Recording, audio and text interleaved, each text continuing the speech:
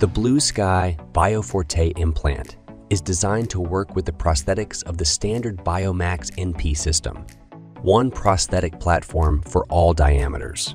The Biomax Forte 5, 6, and 7 differ from standard Biomax 5, 6, and 7 implants in that the implant core diameter of the Max Forte counterparts have the same core diameter as the Biomax 4.3 implants.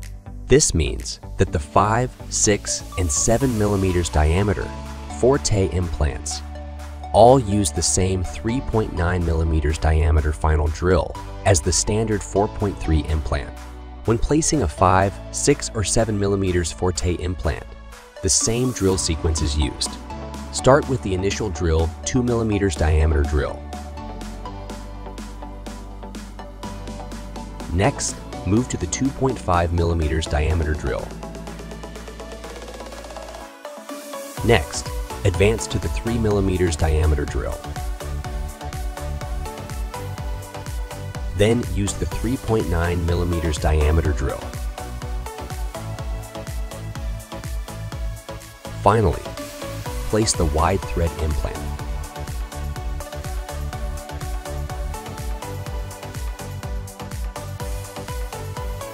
Clinicians who are experienced in wide thread type implants use these features to place implants in type 4 bone.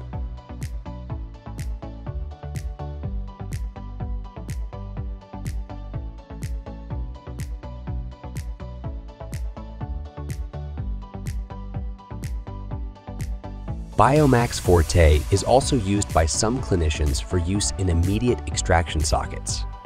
In these situations, the location of initial osteotomy in the socket, and choosing the length and diameter of the Max Forte is extremely important.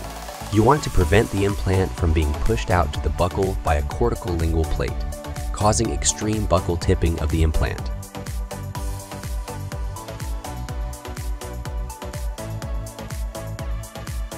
Another situation to avoid is having the implant cut through or break the buccal plate.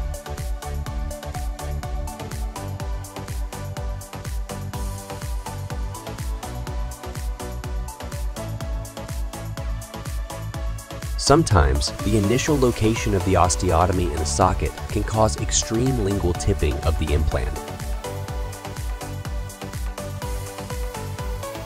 Here's the ideal implant placement.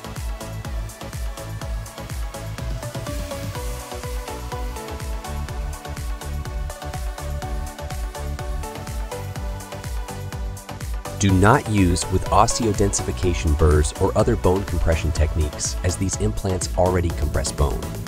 Two levels of bone compression can overstress the bone blood supply and can lead to higher failure rates.